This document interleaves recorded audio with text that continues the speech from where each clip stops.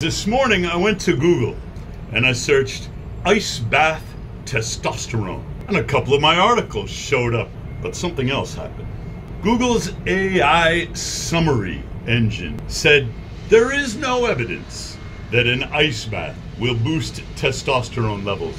And it bothered me because evidently Google's AI engine hasn't talked with Pamela Butler who experienced a 10x increase in her testosterone after starting a regular program of ice baths. Evidently, Google's AI engine hasn't talked with Jeff Daubney, who had a client boost his testosterone almost three times in less than 30 days. Evidently, Google's AI engine hasn't talked to Sean Smiley, who recovered from an injured testicle and low testosterone levels by using ice baths. This whole idea of there is no evidence evidently hasn't been cross checked with Eloise DeSauter, who almost doubled her testosterone levels after starting a program of ice baths. And Google definitely hasn't been paying attention to the Sakamoto study that showed if you exercise after your ice bath,